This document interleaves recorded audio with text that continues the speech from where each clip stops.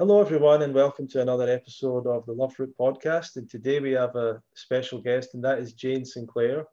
And Jane lives in Wales. She's a professional violinist who plays in an orchestra. We'll find out a bit more about that. And Jane has also been a long time attendee of the UK Fruit Fest. She was actually at the very first festival and has been to almost all of them ever since. And she also gave her first talk at the festival last year. Uh, Jane is also an EFT practitioner, emotional freedom technique, and uh, we'll, you'll find out a bit more about that as well. And of course, uh, a raw vegan, raw vegan enthusiast. And Jane, hello. Is there anything else you want to ask to add on to your introduction? No, I think that's covered it. Yeah. so, I mean, I met you at the UK Fruit Fest 2014, I believe. But what was your story before that? Were you were you brought up on a conventional diet or a vegan diet, or how did it all start for you? Okay, um, I was brought up in a conventional diet, um, and when I got, supposed to my teenage years, I started to feel a bit sort of yuck when things were put on my plate, but I didn't I didn't moan about it. And then I was about 20, I think, and I went on holiday to Portugal and asked for the, the grilled fish, these little tiny fish. And I watched him go, it was a fishing village, and I watched him go to the sea and get his net and pull it up. And there were these wriggling fish. And then he threw them onto this, this barbecue thing. And then they were on my plate. And I just looked at them. And I, I said to the, the bloke I was with at the time, I can't eat this. And I said, I'm never eating meat or fish again. Oh my God. Um, and that was it. From that moment, I never, I never ate meat or fish. And I remember going home to my mum and telling her this, and she said, "Well, start tomorrow because I've done chicken." I said, "No, I don't want to start tomorrow. I'm starting from now." So um, that was about 40 years ago, and um, and then I didn't think about going vegan. It never crossed my mind really. But when I was about 33 or four, I was in a charity bookshop and uh, I was just looking, and this book leapt, leapt out to me, and it was called Raw Energy by Leslie Kenton. I thought, oh, I need some of that. Um, and I read it, and I was so taken by it. And I was married at the time to a different person, and he was a big meat eater. We were both drinkers, we both smoked. But I thought, well, I'm going to give this a go and just see how I feel. So I did it for two weeks, and I had so much energy. Um, and I thought, God, this is amazing. But I, I couldn't keep it going. It didn't fit with my lifestyle at all. Mm-hmm. So I put the book away and I went back to my vegetarian diet until I got to 50, which was 13 years ago. And I hit the menopause and I was having these horrible flushes and was taking these herbal pills, which were really expensive, which sort of helped. And then I thought, well, I remember that diet I did all those years ago. Um, so I looked into it, and actually, Bill, who I'm now married to, was um, sitting on a coach. We were on the way in the orchestra to um, an outside broadcast, and he was reading this book. And I was sitting behind him, and, and I said, What are you reading? And he said, Oh, it's brilliant. And he showed me the front cover, and it was 80 10 10. So he said, Oh, do you want to borrow it? And he never got it back for the rest of the journey. I kept saying, "Oh, do you want this back?" No, no, hang on to it because it's so easy to read, isn't it? It's all these little paragraphs, and you think, "I'll just read this one, and I'll just read that one." Um, and I got home, and the next day I ordered my own copy, and that was it. I went raw vegan. I got rid of the hot flushes. Oh wow! Uh, had massive amount of energy, and actually, I I tuned into your Fruity Friday um, the last one, and I was driving home from work, and you were talking about the energy that you get from the raw diet and how it changes over time. And I thought that's really interesting because that's been something I've been thinking about recently. That where was that absolute? I was like a Duracell bunny, you know. I had so much energy, I didn't know what to do with it all. And whilst I'm I still have energy. It's not the same as it was in that initial. So whether your your brain gets used to that mm-hmm. and you mm-hmm. don't realize that you've got more energy than than most people sitting around you. I don't know, but uh, I thought yeah. that was interesting on Friday when I when I heard you saying that. Yeah, I kind of I, I've got this. I mean, these are all just little ideas you have in your own mind and ways that you perceive things because I, I, can't really prove it but I, I, I do wonder if for some people the way i put it i think is that almost our body overcompensates with yeah. the amount of energy it produces because of our the lifestyle it's had so far so when you take that away all of a sudden you're still kind of overcompensating for a while yeah but, but you've got much yeah. less stress on your body so there's a, a perception of for a period of time, like as you're saying, like a, a tremendous boost in energy, and then that mm. calms down to more normal. Yeah. Um, but I suppose normal is different. I mean, I yeah, I, I can remember being in, in the orchestra, you know, and, and it, it gets to after lunch um, rehearsal, and I always had a cheese sandwich every lunchtime. I had a cheese sandwich. I'd get to about three o'clock, so an hour after the rehearsal started, and all I wanted to do was just lie on the floor and go to sleep. It was so bad this afternoon slump, you know, and I put it down to my age, but I wasn't that. I mean, I was still in my forties, um, or that I was bored. There was something. I never put it down to diet because I didn't know about diet and and what it could do. But um, oh God, to be free of that is amazing. So whilst I don't have the same, and also I've got to think, well, I'm 63 this year, but I'm still, you know, I meditate, I do my yoga, um, I do lots of walking. So it's not like I've, and I certainly don't use my age as a, yeah. oh, well, that's because I'm, I don't do that at all. I don't even know why I said that really. But, um, but the fact is that I suppose maybe your energy levels will go down as you get older, but they're, they're certainly not slow down. It's just the, this initial rush. So anyway, I went onto the raw vegan diet and um, I was a size 12. I went down to a size 8 within two or three weeks. I mean, the weight just fell off me. so that, of course, all my friends are, oh, I'm worried about you. You know, what are you doing? And as you're often telling people, Ronnie, I wasn't eating enough. You know, I'd have a couple of apples at lunchtime and then wonder why I was absolutely ravenous. Um, and that's why I lost loads of weight, nearly lose all the water as well initially but it did. I mean, I went down to seven stone 12 and I'm now I'm about eight and a half stone. Mm. And at the time it, it leveled off. But I mean, I was really, really skinny. Mm-hmm. Um, mm-hmm. But um, yeah, I mean, I had an, an, amazing amount of energy for somebody that was very skinny, but good. And nobody really understood they used to laugh at me because I'd arrive at work. Once I realized, oh, you've got to eat more than this. And in fact, the first time I realized that was the first UK Fruit Festival. And I was astonished. you know, came in for breakfast and people's plates. Uh, going to eat all that. And there was a lady a few years back, she was an older lady. And actually, it was only a couple of years ago because Bill was there.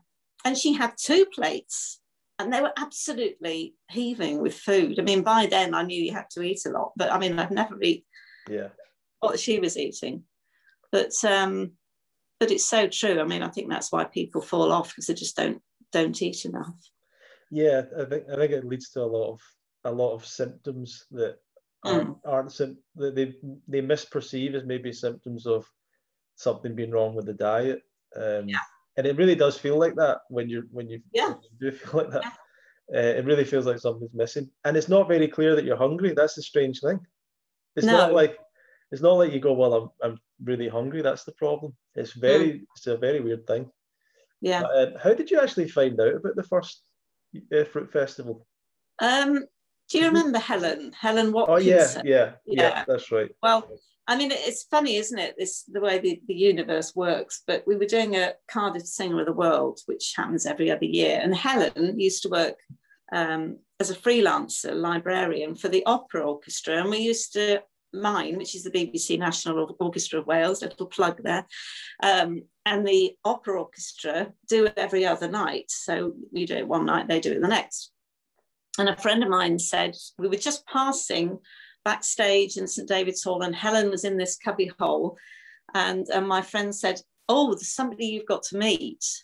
and I went in. She, this is Helen Jane. Oh, hello. And she, and I remember looking, and she had all these bottles in front of her full of this green gunge, and she just got smoothies. She just she just made enough smoothies to keep her going for the day, you know. Right. Um, and so she said, "Oh, oh, you eat raw, you know." Um, how do you what do you do you know are you high fat and i said oh i try and follow 80 10 10 and she said oh yeah me too and then we she told me about the festival and i i Oh, came wow. along.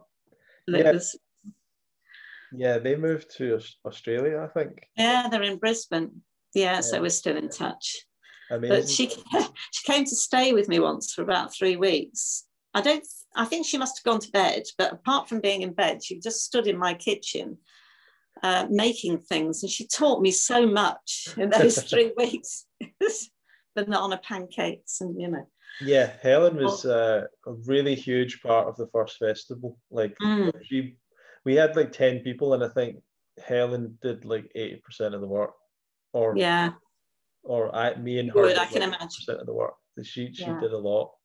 Um, so she's really great, and uh, but she's the she's the kind of person that is, and I stayed with her as well a few times um, when we were trying to find places for the festival and stuff. Her and her husband, and I also was at a festival in Slovenia and stayed in the room with them. And, All right. uh, and I just remember like they're the kind of people that no one knows about them. They don't put, they don't want to be online and all that stuff, but they're an amazing example to other people. Absolutely. like, yeah. of yeah. and I remember they were like they were so fit they were they were running they had uh, they were doing high intensity work High intensity, yeah. and they've now had a baby who's oh great. nearly, nearly three so and he looks he looks like i don't know how to say it without using the wrong a naughty word but you know a small little rugby. His muscles i mean and, and all he's been brought up on is sort of breast milk and fruit you know. Amazing, and amazing. that's it. And he loves it. Absolutely loves it. So and i think anne osborne lives quite close to them so she's been very helpful. That's great. Yeah, yeah. So um what what have been like how or h- how did you find the kind of transition into that kind of diet? Like um did that did you do it over a long period of time? Have you did you make sudden changes? Are you still making changes? Like what what's been your Um, journey with no it? my the way i do things i don't do things over a period of time. I just do them. Um, i gave up smoking the same way. I did try to cut those down actually and that doesn't work at all. So right. that was an override i'm not going to smoke anymore. Um, i did the same with i gave up drinking it'll be three years in may and that was the same. I'm not going to drink anymore um, not i mean i wasn't an alcoholic but oh my dog's going to start barking now. Um, i wasn't what do you mean wolf?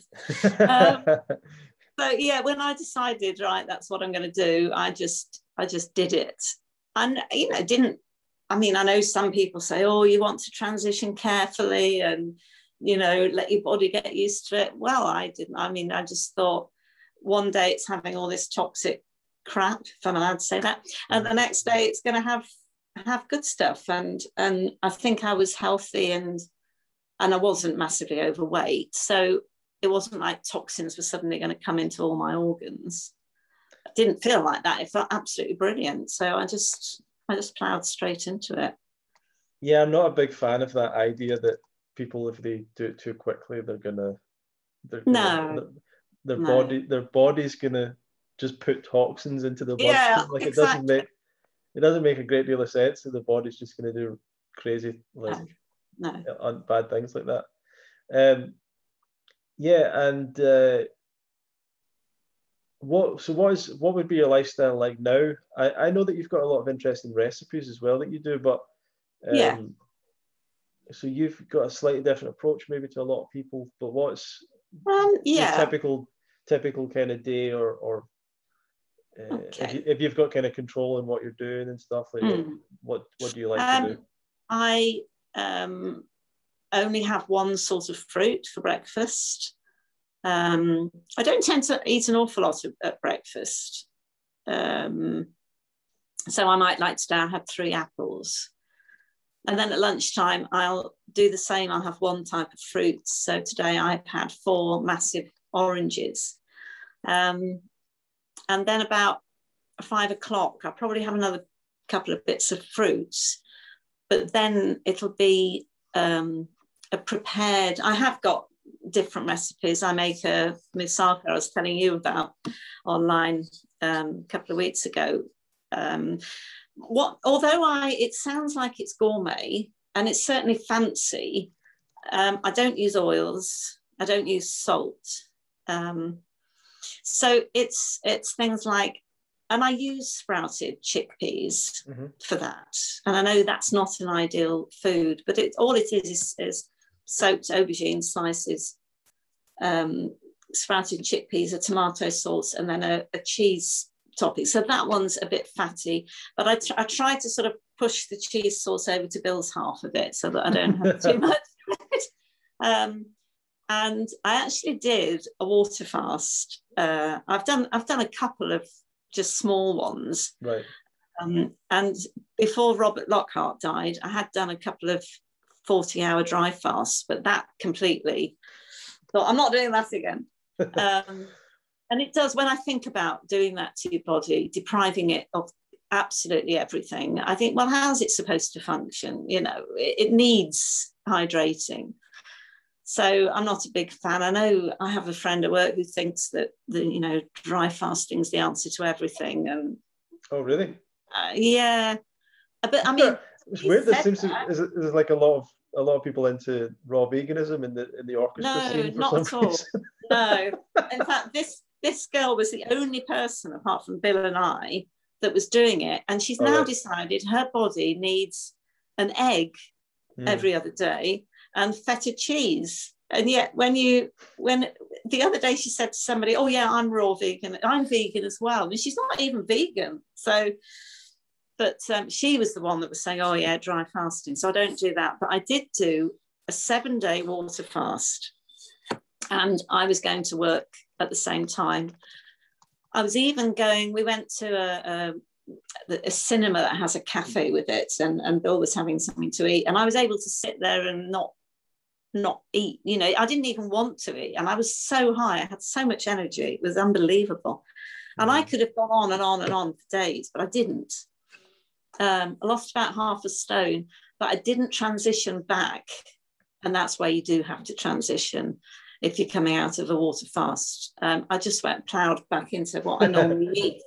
And uh, I put the weight on, and it took me ages. I, I went above where I had been, and it took ages to get it off again. So I haven't actually done a water fast since then because it, and if I do one, I wouldn't do more than a couple of days. I don't, I don't, and I'm not sure how necessary they are. You know, as long as you are eating the right things, do you really need to do that?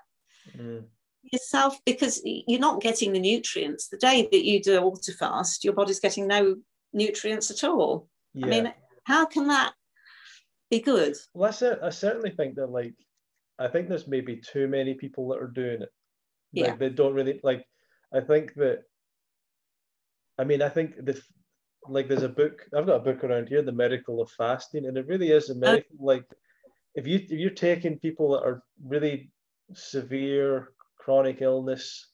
Oh yeah, I did certain, that. Certain things like, and there's been people from the festival that have, that have been arthritis and stuff like that from a young age, and they've mm. done water fasting. It's helped them a lot. So yeah. there's a there's a lot of things like that where I think okay, people in really severe situations.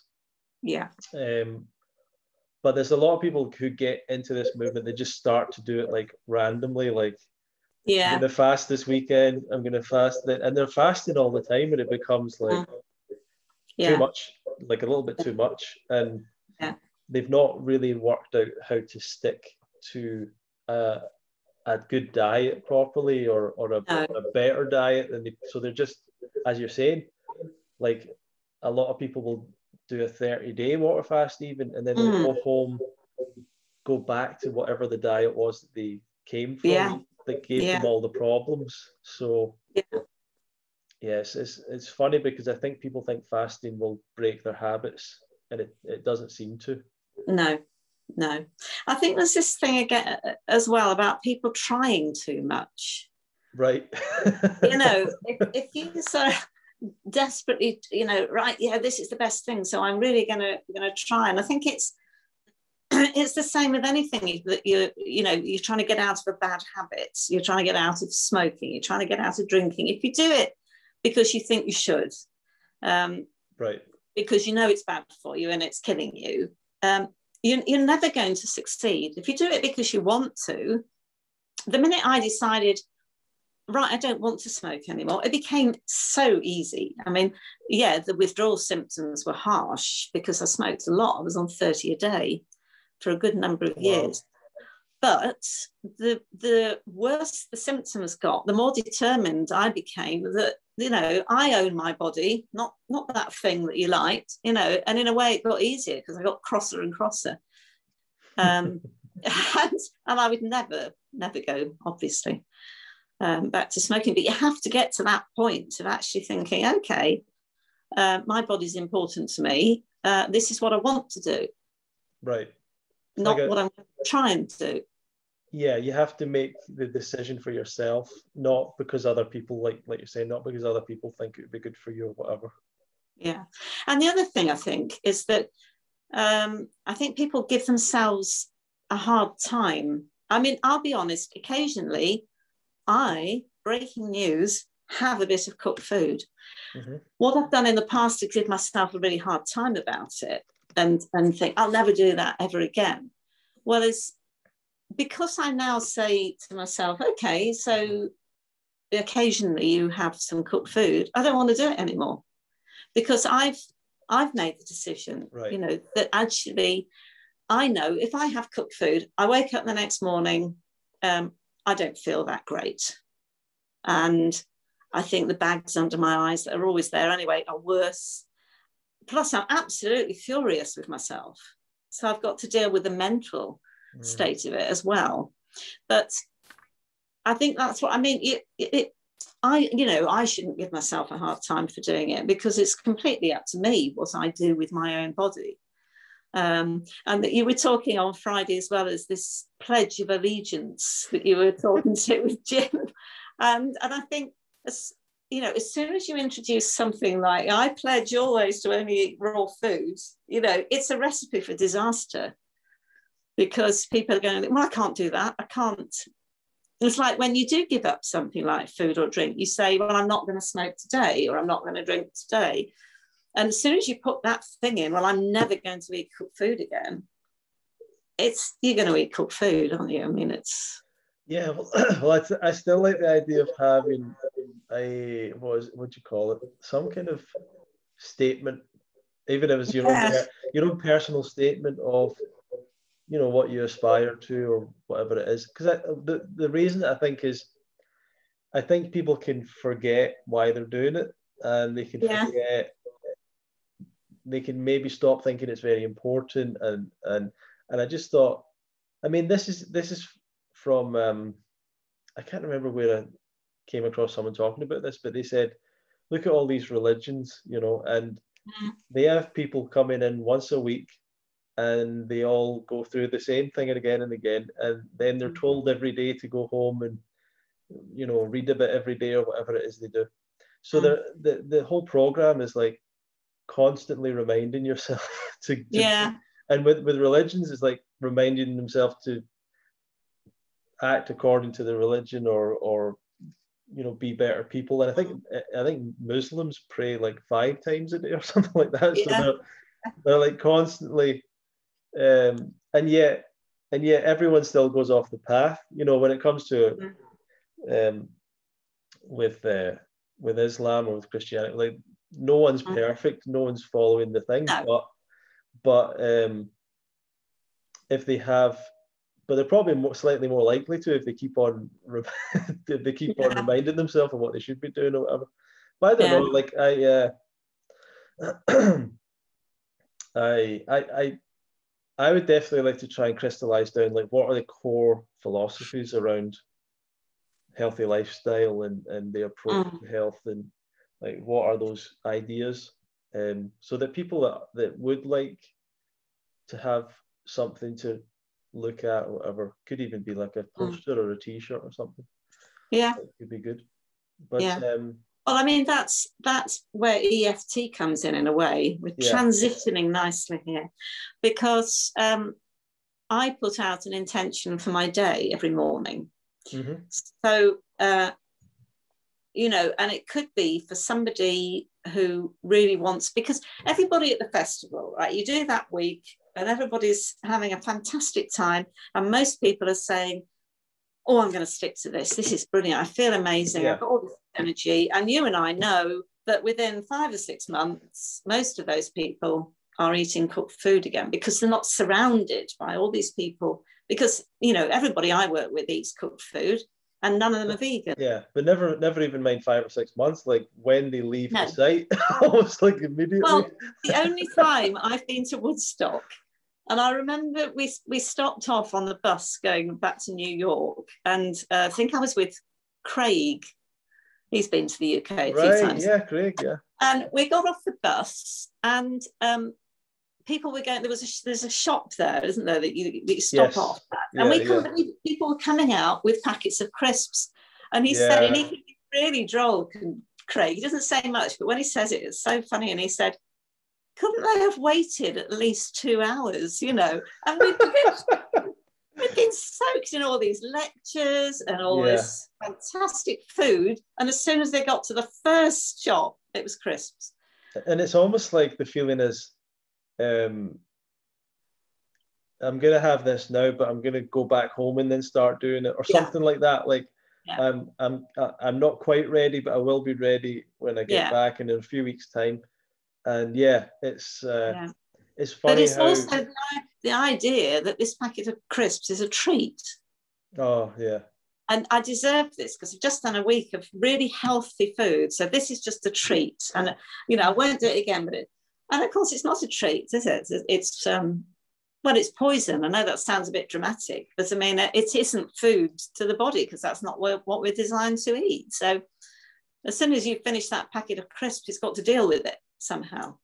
Yeah yeah and it's to me it's also like it breaks the whole the momentum of what you're doing. I think that i think it's, Yeah.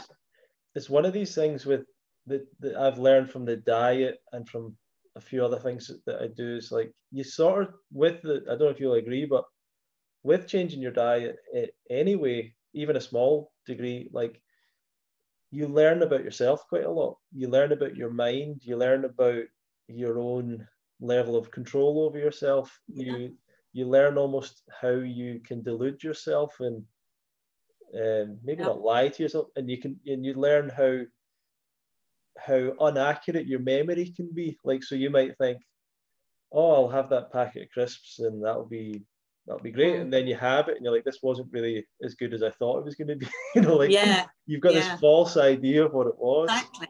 Yeah. um I remember making um, a cooked vegan because I had all these books. I think they were Bill's actually, and I moved in Bosh cooked vegan books. Bosh, yeah And I said to Mum, "Look, I'll I'll cook you something because I only live around the corner." And I made this thing, and it looked amazing with spinach and and, and I thought it smells absolutely delicious. And I thought I'm just going to have a little teaspoon and see what it tastes like, and it was so disappointing well, I mean, I was happy it was it wasn't disappointing because I thought, thank goodness for that. It actually doesn't taste that great. It tasted slimy Mm. um, and too soft because we're used to crunch, aren't we, in this diet? And it was just no. I thought I'm not. That was a funny thing. I mean, I I did I fell off the raw vegan diet after like four or five years of doing it pretty consistently when I first started it, and I ended up eating cooked food for about six months before getting back to raw again. But the the thing that was so funny to me was how it felt in my mouth. So I, I like Yeah. it was so dry, and I couldn't believe like I was I would eat like um I can't remember like uh um can't remember some of these some of these dishes that I would eat different things can't remember some of the, some of the names I'm trying to come up with but I could not believe how dry it was I was like how, Mm. do, how do people eat this stuff it's Yeah. so dry Yeah. it was like sticking it was literally like sticking to the inside of my mouth and I was like peeling Yeah. it Yeah. it's just I was so I'd forgotten how to eat cooked food in a, in a weird Yeah. way. And then Yeah. when it went into my stomach and it just sat there, it's like, are, Yeah. are you just going to Are you just sit gonna there do it? for hours and hours and hours? And I'd completely forgot all of that. And then obviously, uh, on it was it was just so night and day to me, which is it's funny when I see other people say like they go back to cook food and it's just and they're just the same, and I, I'm like, how could how is their Yeah. experience that they were just the same? Like whether whether you choose to go back to that or not, like I, I don't know, I don't know if it would be exactly the same. I don't know if you could Mm. ever say that, but uh, yeah, No. so it's funny. But let's let's talk about um. You gave a talk about your journey. You also talked about EFT, and Yeah. I believe that you you're helping people with EFT. So Yeah. act as if I mean I pretty much don't know a lot about it. I know what it what it is, uh, but obviously for the audience and everything, Hmm.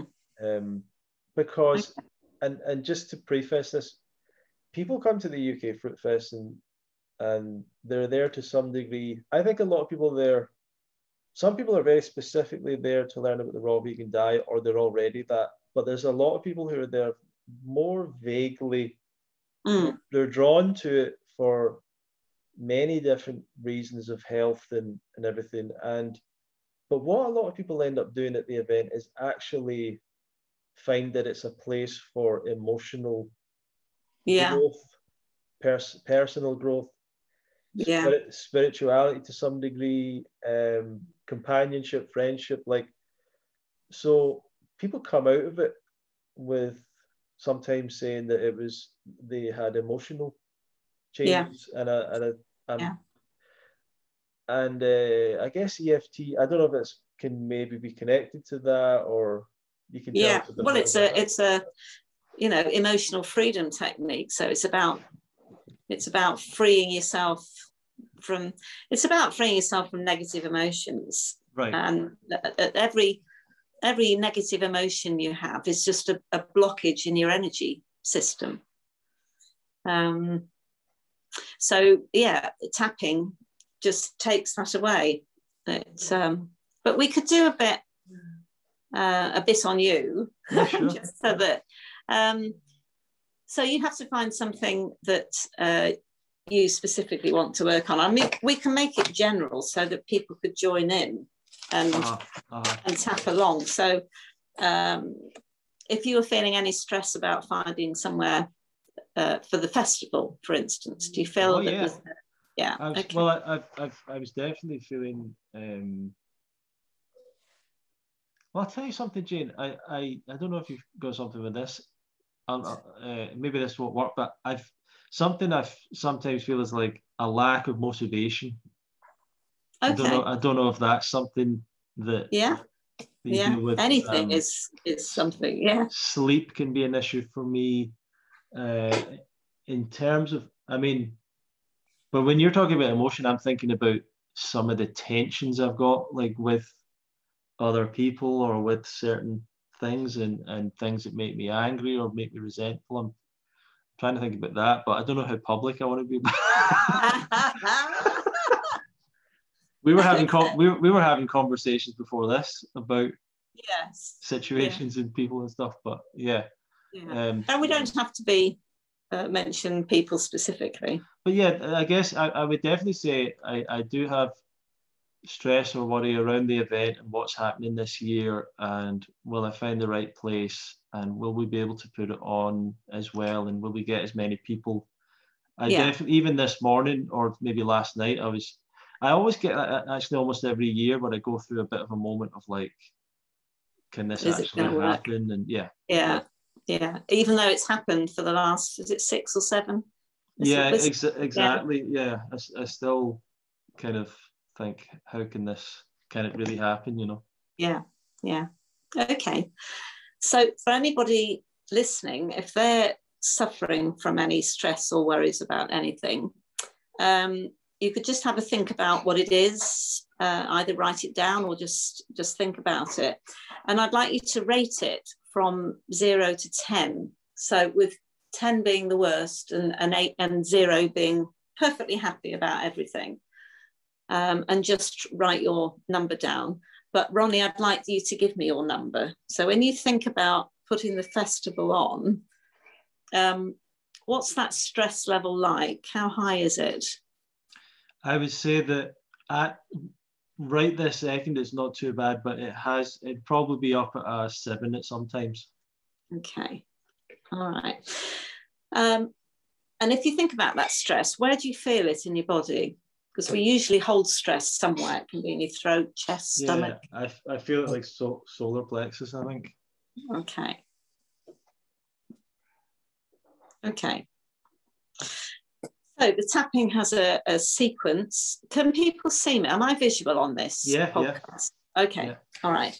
So if you follow where I tap um, and repeat what I say, um, and we'll try and make it um, general. So I might not, uh, although I think other people might be worrying about where the festival is and if it's if it's going to go on. So people listening to this, it might be relevant anyway.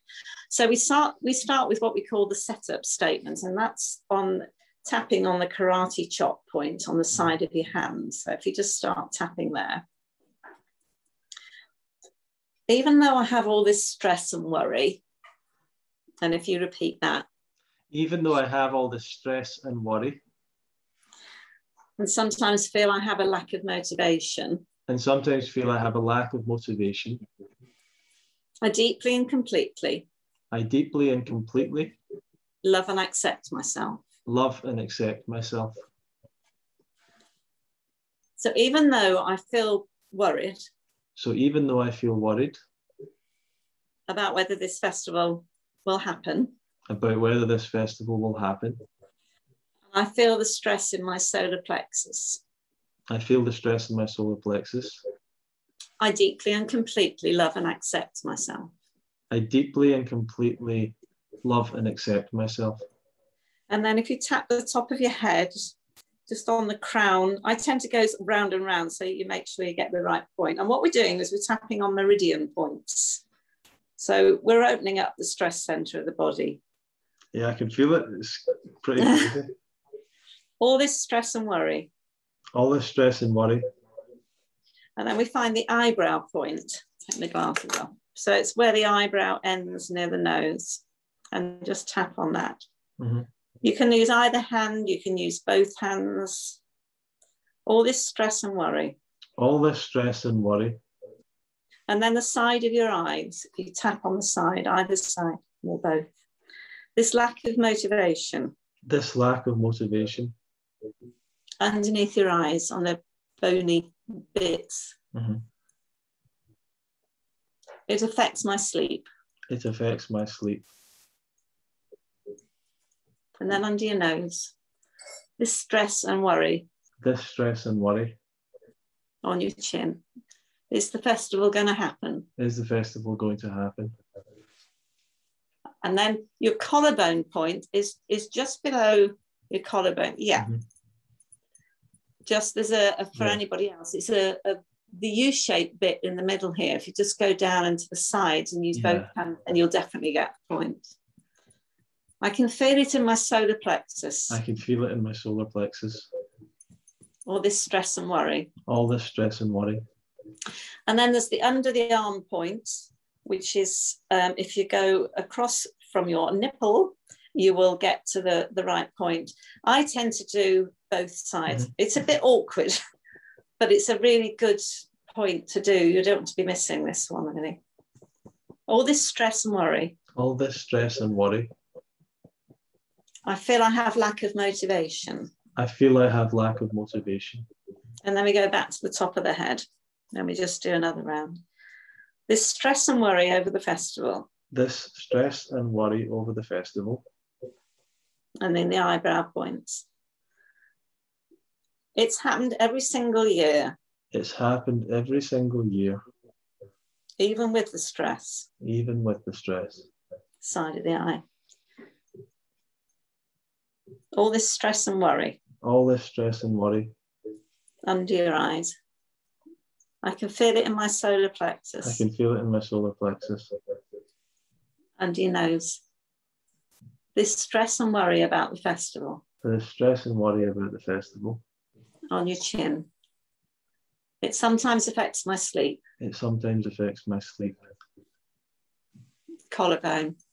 And then I have even more stress. And then I have even more stress. And then the arm, underarms, all this stress and worry. All this stress and worry. And then take a deep breath.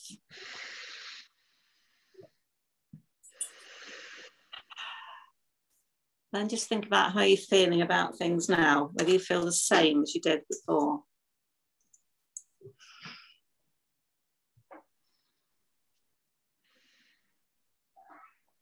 It's, it's, it's funny because I could really feel it more clearly. And I could feel it as, as soon as we started, I could feel that, that feeling of tension kind of going down. Yeah. Um, Can you still feel it in your solar plexus? I can feel it a little bit, yeah. I can feel Yeah. it, I can feel it a little bit there, and um, And if you I, had to I- think I- about, I, I think I would. I mean, I would like to do that exercise sort of continually. I don't know how often you do it, maybe every day or Hmm. something. And well, um, what we what you would do next is is do another rating from zero to ten, see if it's dropped, and then we would do another round um, that would say, even though I have this remaining stress and worry, right, and we do the same sequence again, and hopefully it would drop again, and then you would put in. Um, even though I've got some remaining stress and worry, I choose, and then you put Yeah. the choice in. I choose for everything to be okay. I choose not to have this stress and worry, and then you go through the points that um, it happens every single year. It happens. People enjoy themselves. It's a good time, um, and in the end, hopefully, you would get rid of it completely. yeah, that that was that was great. I, I, I like Hmm. that. Yeah. So how? So you're now doing this. Well, I've now service to people? qualified. Yeah, yeah. Um, so I did. I had to do fifty hours uh, as part of my training, and I had to do it with at least twenty different people. Um, and actually, all my tutors said they'd never known anyone do it so quickly. And how did I know all these people? And I said, well, I've, the fruit festival. You know, we're all we're all weird. Um, everybody's up for it. So um, so I had you know, plenty of people. You, you can do it over 48 months, over two years, and I did it in less than four because I had so many people wanting to do it. So that was brilliant. So now I'm qualified. I've got my own website. Um, but getting back to the actual logistics of EFT is is it's a, it's like anything, isn't it? It's the same as uh, as this remembering why you you're on this diet. It's the persistence Yeah, um, it's the repetition. So I, when I get up in the mornings, I uh, I don't do the setup unless I've got something. You know, if I was, I mean, things we should, we should say we should also but- say Jane that one of the reasons you started doing that was because of Oh, yeah. stage stage fright, isn't it, or Oh my god! performance Yes. anxiety? I've forgotten about all that. Yeah. So uh, we're going to run out of time. at this point. So 16 years ago, um, I met Sean Gray, and he was actually teaching my son tennis. He was giving him tennis lessons. And I was talking with him this morning because we're writing a book together on performance anxiety. Um, so we keep having these meetings. And I said to him, I was his first client after he trained. So I was his most difficult and also challenging, but also the fact that he achieved, or we achieved, you don't achieve as a practitioner, you just hold in a space. Um, but between us, we got rid of my stage fright. So anyway, I would get on stage, every rehearsal would be fine. Um, I'd get on stage and the demons would come. It's the only way I can describe it. Um, and I would just freeze. They talk about this um, fight or flight, but there's also the freeze option. And they showed us a video, and I did my EFT training of a tiger being caught by a lion. And no, not a tiger, a deer. Sorry, a deer was caught by a lion. and we all thought the deer was dead. It was lying on the, on the ground. The, the lion had sort of thought about eating it, but this, this deer was apparently dead. It was completely motionless. Mm. I was sort of holding our breaths watching this video. The lion looks a bit bored and walks away, apparently thinking, I'll eat it later because it's dead. And after a few seconds, the deer got up and it shook itself like mad walked off. And it's this bit where you're you're so terrified you freeze, and that's what used to um, happen on stage. You would, literally, you would literally freeze to that to that degree. Freeze, and I would have to. I mean, a violin isn't very he- heavy. I would have to lift, get my right hand and lift it to put it underneath my chin so that it was there. And then I would be gripping the bow. I mean, it was absolute hell. It really was. And I, you know, you, you turn the music with somebody else because I was always on the outside. So I was on the outside of the stage, and you get it into your head that everybody in that um, hall is looking at you. Every yeah. single person is just looking at you because I've, I've frozen solid and I'm, I'm, you know, I've got this long bow and I'm only going, I'm only using two inches of it. Um, and I got arthritis in, in this joint because I was constantly gripping on. And I tried hypnotherapy and I tried um, cognitive behavioral therapy, CBT, and that hadn't worked. And I tried, I used to take beta blockers for every concert. Um, I tried drinking a bit before concert. No, the beta blockers stopped the shakes, but it didn't stop the tension. It didn't right. make things any easier. Um, and then I met Sean, and he said to me, um, after I'd known him for, I don't know, six months or so, he said, Oh, I've just done a course on um, something called EFT and I need clients. Will you be a client? I said, Yeah, of course. Uh, and I went along and he said, You know, have you got any issues? And I didn't even think about stage fright because I thought it's impossible to get rid of. So I said, Well, actually, when we have a meeting in orchestra, I'm always too scared to put my hand up and ask a question because I think I'm going to blush and I won't be able to string more than two words together because my heart starts racing. So we did a session on it. The next week we had a, meeting in the orchestra and you couldn't shut me up. It was I was just like a different person. It was incredible. So he said, Oh, come back. You know, that's not the end of it. Come back. So I went back and he said, Well, that's brilliant. Anything else? And I said, Well, there is, but um, there's no point in going there because I've had it for 23 years. It's never going to go. What is it? It's stage fright. And over a, a series, I suppose I had about. I was trying to ask him. I can't remember how many sessions I had, but I was I was very fortunate because he'd become a friend. I used to see him on the tennis court uh, with my son every Saturday. I could ring him up whenever I wanted. But anyway, I basically got rid of it completely.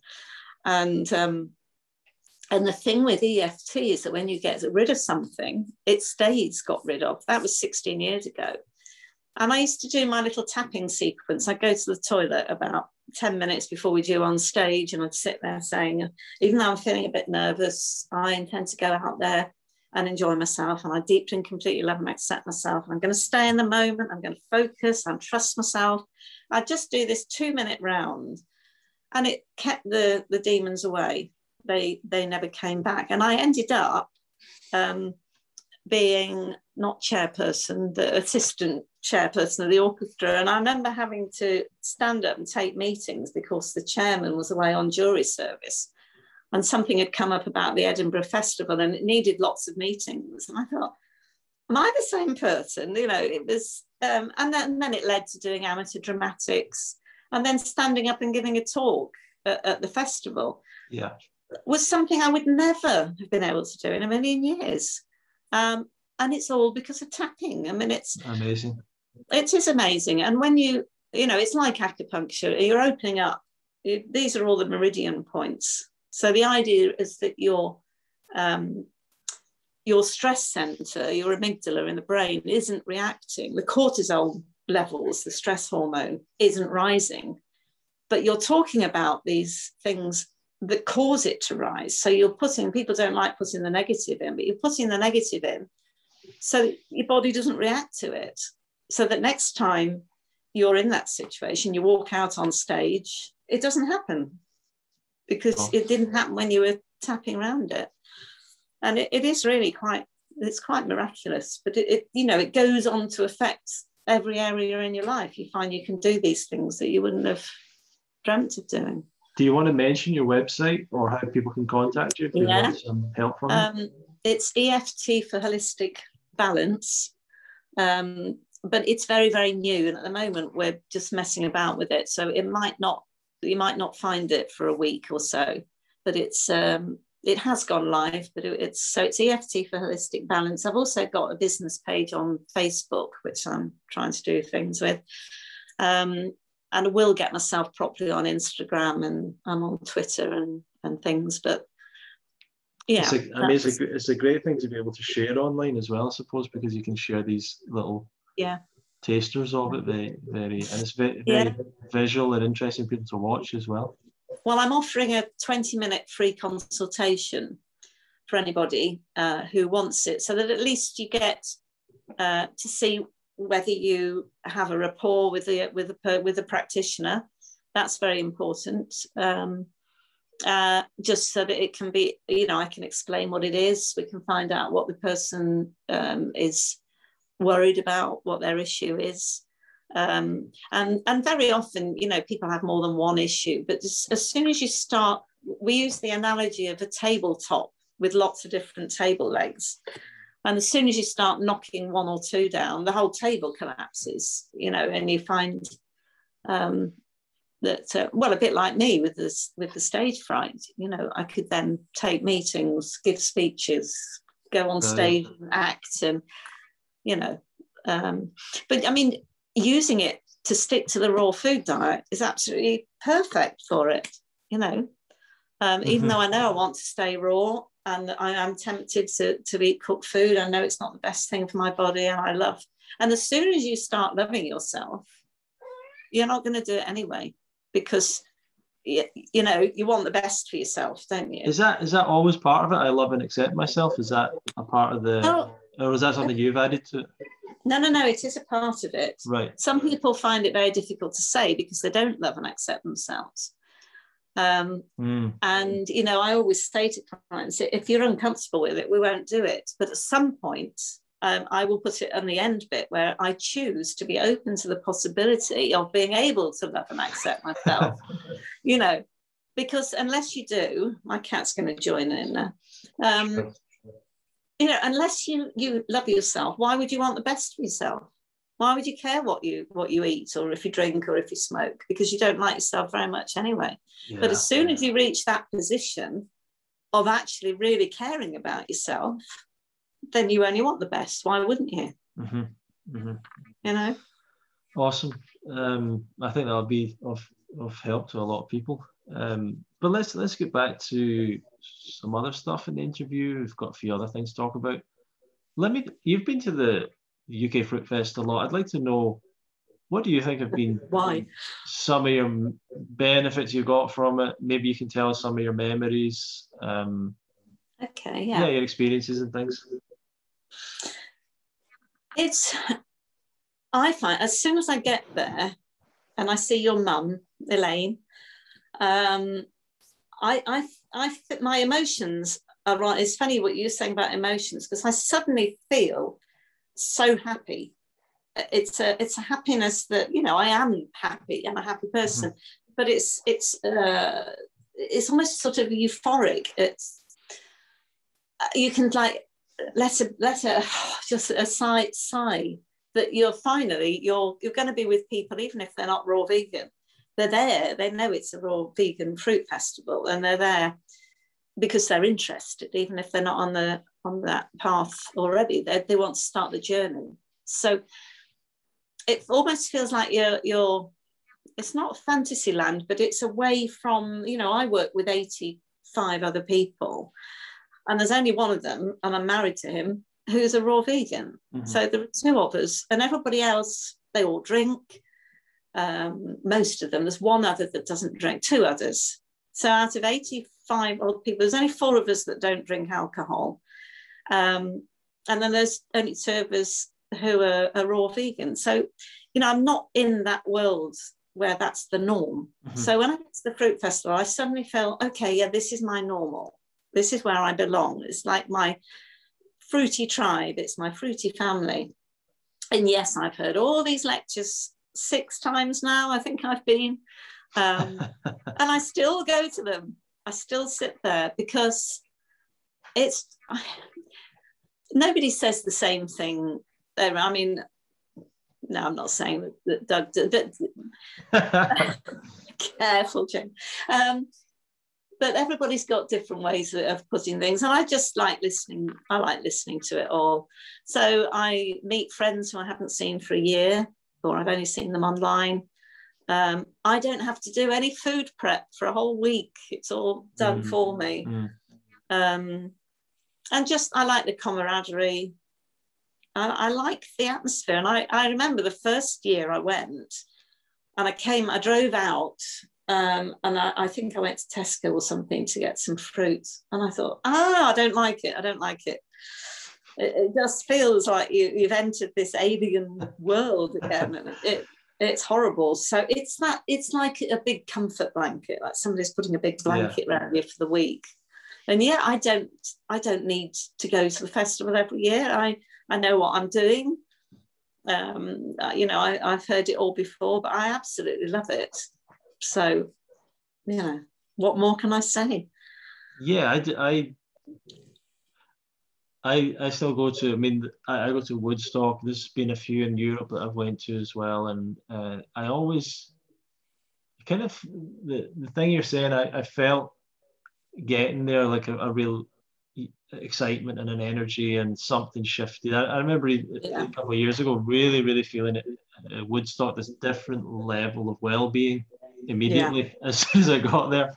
And uh, I really see it as like quite a sacred space or a sacred place like in, in, in my life. So even the and even the place in Denmark that had a festival, like I feel the same about that place as well. Like these were really special places for me. And um, I, I, I think that the thing about the festival is we've humans mostly have kind of lost living in communities and living yeah. in supportive environments and mm. and maybe there's some benefits to that on some level but there's a lot of bad things that happen in the world that happen behind closed doors because no one knows what's going on in people's lives anymore you know yeah um but when you're in community like that, I think it really clicks as like this is this feels right. This feels yeah. good. This is exactly.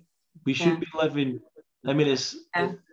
it's hard to make that happen, of course, but probably for our for our best um, health and happiness, we probably should be living around people that we like and know and that we're around all the time.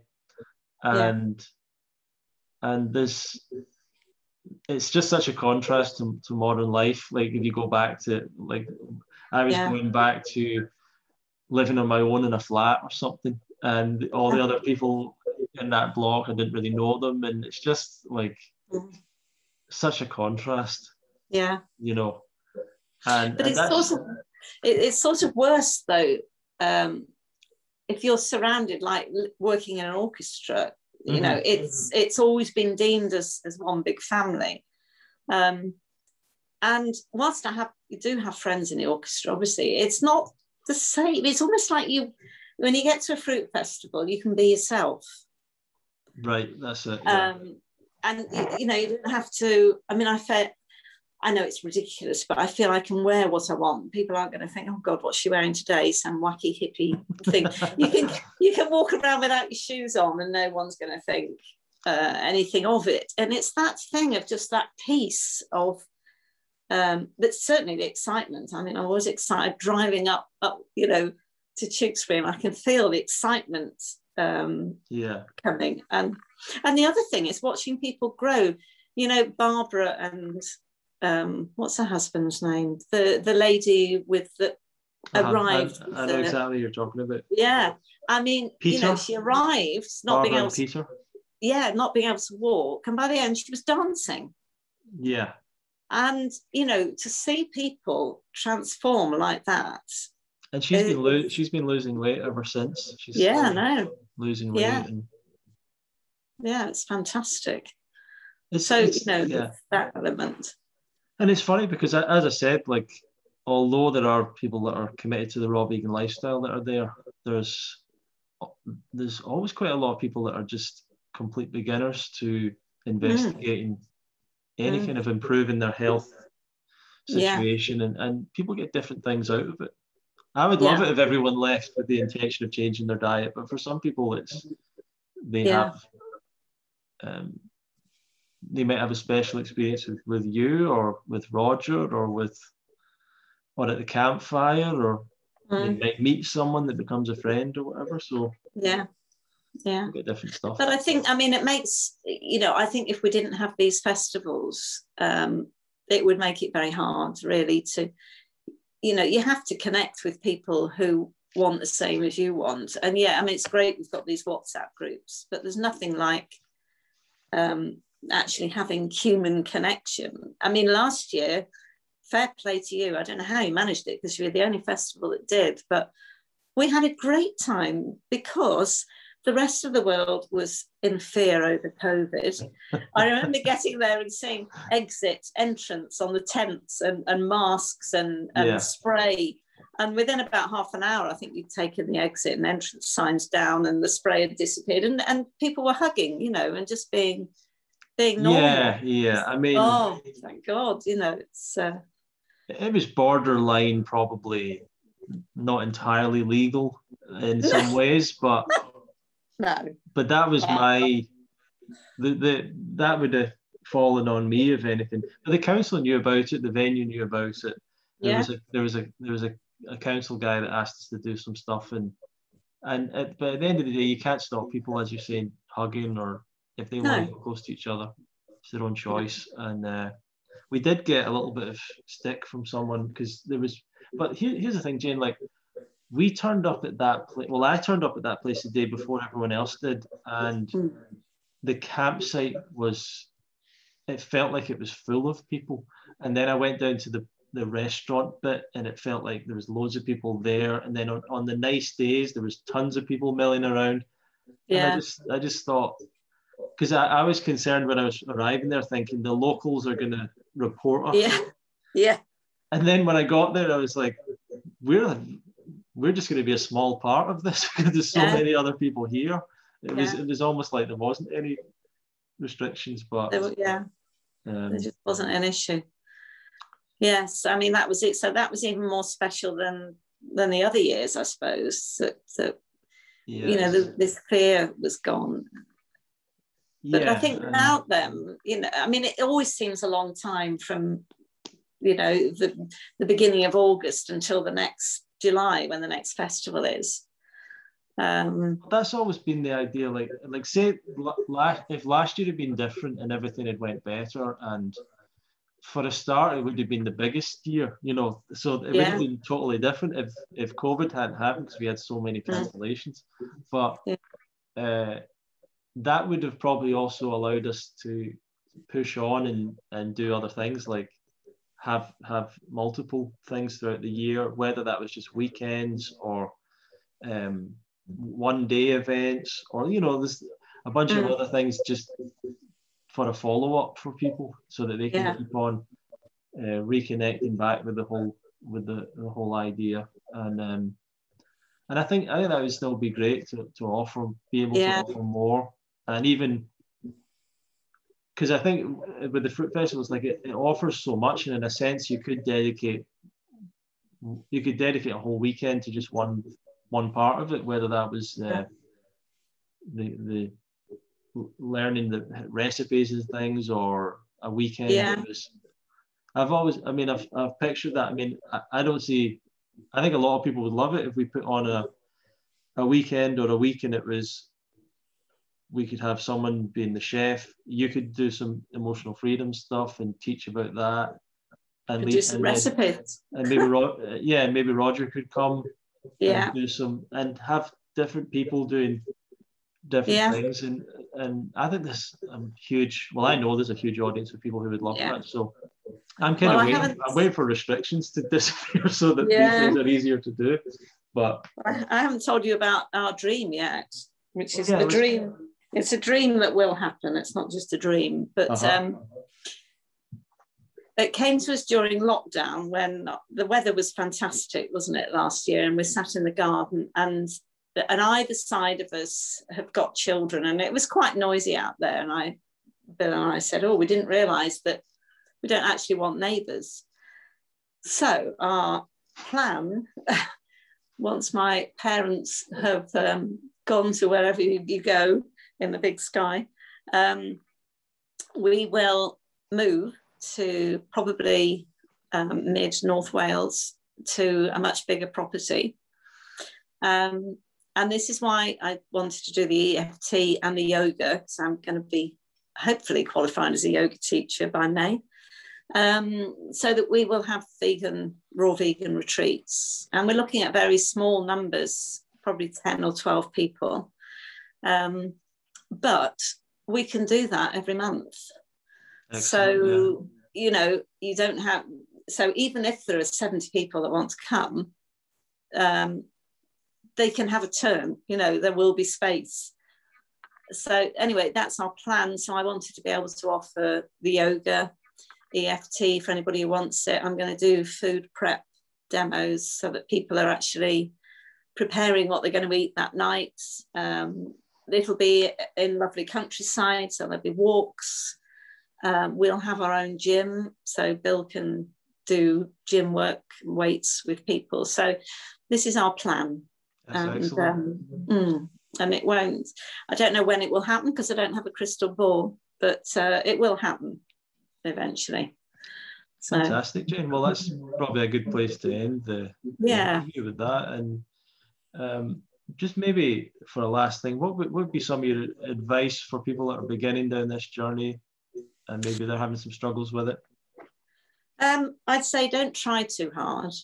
Um, actually, do some tapping in the morning and have an intention to maybe only eat raw food that day. Um, and don't restrict. I, th- I think I mentioned this at the festival uh, because people had said to me, this is fine for a week, but I couldn't eat like this the whole time. And I said, I don't eat like this the whole time. Um, I eat like this for breakfast and lunch, and then I make something for dinner that's very often within the 80 10 10 perimeters, but it's fancier. It's got sauces, it's got mm-hmm. dressings, because it's all in the dressing. I mean, that's another tip is buy I've got Melissa's book on dips, dressings, and sauces. Um, and yeah. it and it it really kept us going in, in the winter because the winter can be challenging. Although my argument when people say, Oh, don't you want some hot food? is that by the time you've chewed your food up in the mouth, in your mouth, it's exactly the same temperature, whether it's raw or cooked. Yeah. uh, the only advantage to not eating, well, there are lots of advantages, but you're not going to burn your mouth if you don't eat cooked food. And I was always burning my mouth. So, um, so I'd say, you know, get yourself some cookery books, some non-cookery books, uh, and really have a, you know, try things, see what you like. Don't yeah. restrict yourself because you will fall off if you just say, okay, I'm only going to eat fruit. Uh, unless, you know, I, I occasionally do that for a week. I'll say, okay, I'm only going to eat fruit.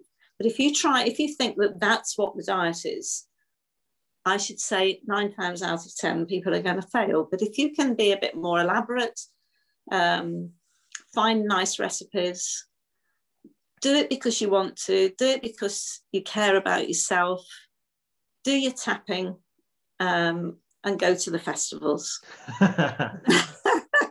Thank you very much, Jane. So, okay, it's what, been a pleasure. What, what's your website again for those who want to find out? Um, it's EFT for holisticbalance.com. Thank you very much, everyone, for listening and watching to this episode of the uh, Love Fruit podcast. I've forgotten the name there, with Jane Sinclair. And I highly encourage you to go and check out what she's doing and how she can help you. Jane's been someone that I've known for uh, probably seven years now or something. So we, yeah, uh, yeah I, I, definitely recommend her to you. And um, if you want to learn more about the UK Fruit Fest, you can go to fruitfest.co.uk. And uh, we'd appreciate if you want to send this podcast to other people. It might help and if you've got any feedback, send an email to info at fruitfest.co.uk. Jane, any last words there? Um, I just wanted to say uh, if my website doesn't come up this week, just be patient because it will be up probably in by next week anyway. And you're on Facebook and you're on the UK Fruit Fest forum. Yes, uh, yeah. UK Fruit WhatsApp Fest community. Groups. Yeah. Yeah. So people. I think most people know me now. Yeah. Okay. Thanks for watching and listening, everyone, and we'll see you in the next episode of the Love Fruit podcast.